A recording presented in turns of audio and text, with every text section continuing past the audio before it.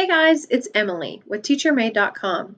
Today I'm going to show you how to use our true or false function to make true or false or yes or no items available on your worksheets. Let's get started.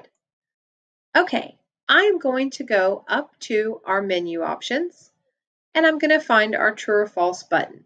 I'm going to click on that button and I'm going to select the words or phrases that I want.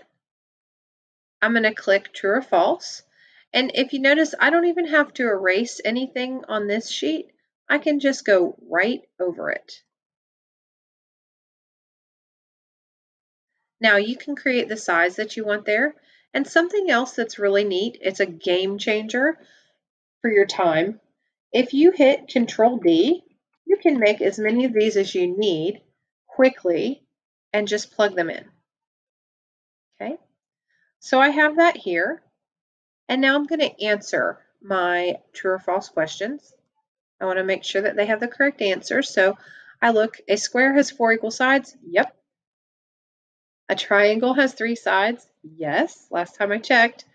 A circle is a square. Not so much. So we're going to make that false.